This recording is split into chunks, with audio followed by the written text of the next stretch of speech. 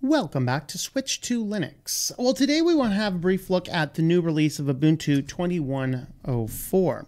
If you are new to Linux around here, then maybe you're seeing some people say positive things and some people say negative things about Ubuntu. The fact of the matter is, more people come to Linux from Ubuntu than most other Linux distributions.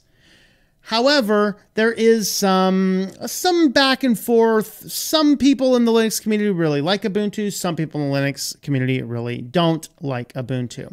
We're not going to get into all of the reasons there, but in the event you're new, just as a brief nutshell, Ubuntu wants to support as many systems as conceivably possible, and this means that it has a lot of proprietary software. That means software that is closed source, nobody can audit the code, Additionally, they seem to work with companies that some people come to Linux to avoid, like Microsoft and a few other companies that are not quite as privacy minded as many people in the Linux community would like to be.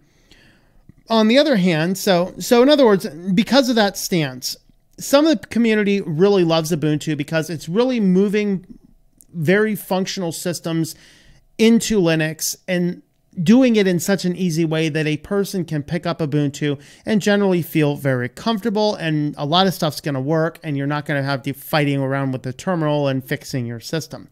On the other hand though, a lot of people come to the Linux community to avoid the interactions with these companies and their closed source software. This is why Ubuntu is controversial. You either love it or you hate it. There's not a whole lot middle down the road. I am probably a middle down the road guy. I don't completely hate it. I'm not a huge fan of it either. I don't like a lot of the directions that they go, but nevertheless, it is a very significant distribution. And because of that, we do want to go ahead and uh, give a little bit of homage to the distribution when it comes out with a new version. So, with that, we are going to go ahead and have a brief look at the release notes. Now, the biggest, most significant thing under the hood for this, as far as the enterprise users, is the best native integration with Microsoft Active Directory. Now, this allows an IT department, for example, to administer a whole series of machines under a single group policy. This is an excellent thing, and it definitely gives more people the experience working on Ubuntu because it's a lot easier to maintain by the IT departments. So, for that, that is really good. They also have, um, it's now um, certified with Microsoft SQL servers, and so for the enterprise customers, this is one of the best distributions. What does it have for the basic users? Well, the basic users, the biggest thing we're going to see out of the box on this guy is it is moving towards Wayland as the default. This is really on the goal for the next LTS, which is going to be the Ubuntu 2204 edition. And so they're integrating Wayland by default now. This will help them resolve and work out all of the bugs that they can get out of it while not being a, an LTS based system. They have fixed a lot of the bugs that we had with it. OBS is now working with it. Firefox now working it with it. Flutter applications are now working with it. So there's a lot more things work with Wayland than did a few years ago when they first had their failed attempt at leading with Wayland. If the Wayland is still a problem with you, you can log out and log in under X as well. So you do have that, but Wayland is considered more secure. And so let's go ahead and give this guy a shot. The other thing that we are going to see with uh, with Ubuntu is we're going to see on the installation you have the option of the ext or you have ZFS. So you have a couple different file managers to choose from or, um, file uh, file systems to choose from as you are installing your system. So that is actually good, and that it, it is starting to move towards towards this. You can encrypt it on on um, um, on LUKS. So that is certainly something you can do as well. And then they changed the the dark theme with the new icons. It actually looks really good. It certainly is, in my opinion, one of the best looking Ubuntu's that has come out for quite a long time. With that, let's go ahead and have a look at the desktop. So the first thing, uh, just kind of logging in over here and having a look, we are on GNOME version 338.5. Now, GNOME uh, 40 is out, but uh, it's not utilizing that. That is quite a radical change. A lot of the extensions, a lot of things that Ubuntu has done to work with GNOME will be changed and broken on that. So we're not going to see that coming out quite yet.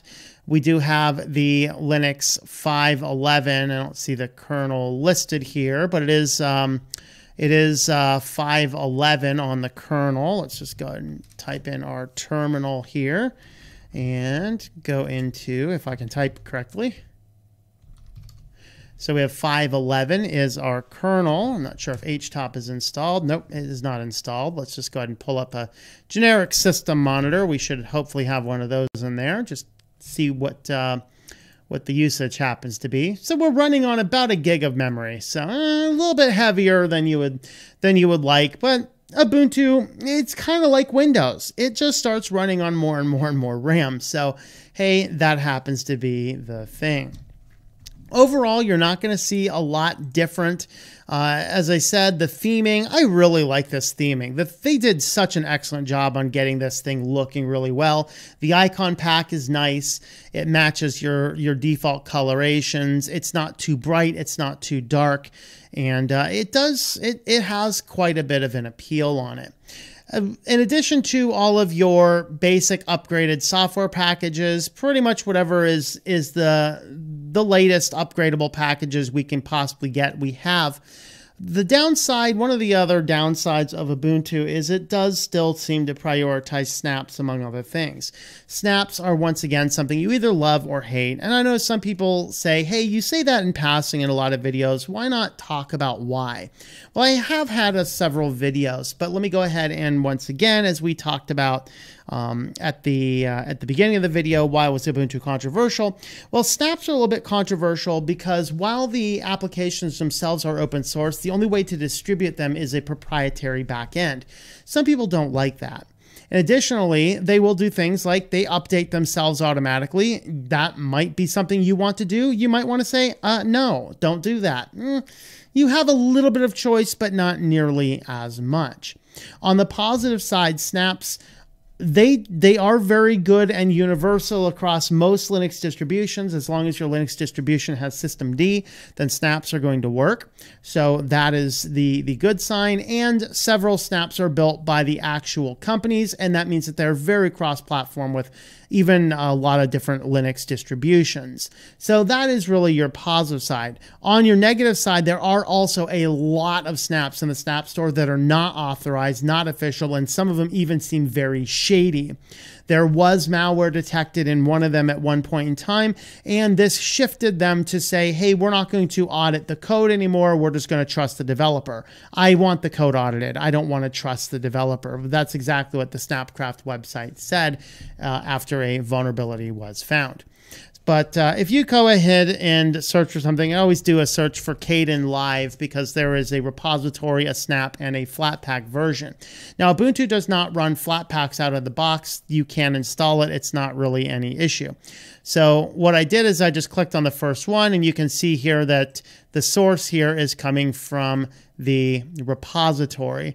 And we're going, going to be, this is for, let's see, okay, so ignore the first number. So it's 20.12 is this version of Kdenlive. Your snap, so this is your snap crash version. This is uh, uh, 2012 3. So, and if you pick the snap version, you go with the snap, snap, snap, snap, and these will tell you which version it happens to be. So this is version 16 uh, 2012 3, 2012 3, latest stable, latest stable. This is a beta version. And um, oh, what is this one? Latest and Edge. So this would be like. Um, uh, like a nightly type build. So you do have the option which one you want to go with. That's one of the positives of it is you can set that to control some of those. But uh, nevertheless, when you go ahead and install things, it does tend to show you snaps before it tends to show you repository uh, items. You either, again, with Snap is like Ubuntu, you either love it or you hate it. Um, I tend to prioritize not using them. I will if I have to, but you know that's my own personal preference. Everything else under the hood is going to be very similar. If you're new to Linux, we have the Office applications installed by default. This is LibreOffice. Now you can select a minimal installation, which will not install your Office applications and some of your extra files like games, Office applications will not be installed. I selected the full version, which is going to contain those. It's just which one would you like to do. Ubuntu does have a live patch option, which I believe does require an Ubuntu login. This is something that will, um, so here you need a key. It's not available for this release. So what this is going to do is it's going to patch security uh, um, updates while you're working. Basically, it, it very quietly goes through and adds some, some updates. I do like the fact that that is disabled by default. Again, not something I like, but there are people that need that, that want that, and that should have that on. So you can enable it if it's available for your release. This one's probably not just because it's it's so new, just came out. And then I believe that you will need a Ubuntu account to do that as well. As far as everything else under the under the hood here, it's going to be the same as uh, as your other versions of Ubuntu, just updated packages, a few more little tweaks to make things work. So overall, this this release does look pretty good. So far, it seems to be fairly stable. I did have one little snafu on it. I did have one little application crash that was kind of an under the hood thing. Um, that's not too out of the ordinary, expect, uh, unexpected on this old virtual machine that I'm using.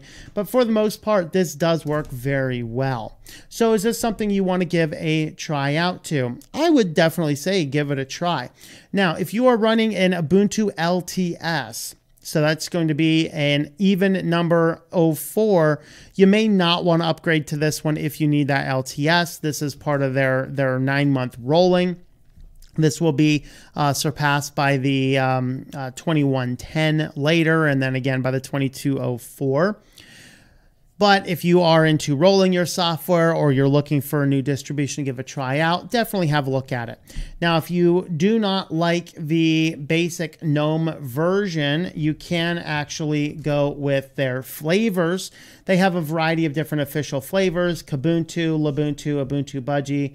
Ubuntu Studio is an XFCE based with a lot of applications for uh, multimedia production. We have Mate, we have the Kylin, which is the Chinese version, and then we have Xubuntu as well. So you do have a lot of different options if you're not into the GNOME version. I would definitely say give it a try. Ubuntu always does a good job. You either love it or hate it based on its individual philosophy, and I will leave that to the viewer to make your own determination on that. I'm not going to say it's either good or bad. It's just, it's a very good distribution. The question is, does it match with your personal philosophy or not? So there we have it. There is a brief, brief look at the new version of Ubuntu. It is now available for download as well as all of the flavors are available for download. So go and check them out have yourselves a, uh, a good time with that. And uh, with that, I will uh, leave you with this one here. Thanks for watching. And uh, you can, of course, support the channel over on the website switchedtolinux.com forward slash support. We have Subscribestar and Patreon. We have some affiliate links as well from Amazon and a few other ones. Those are all on the website at switchedtolinux.com. With that, we will leave it here. Thanks for watching and hope that you enjoy switching to Linux. Thank you for watching this video from Switched to Linux. This channel would not be possible without the backing of the program supporters scrolling on the screen now. You can be a supporter at Patreon at patreon.com slash T-O-M-M or at thinklifemedia.com. I also want to thank the open source community who creates such excellent software that makes producing this show possible. Please remember to support your software communities. Thank you, and I hope that you enjoy switching to Linux.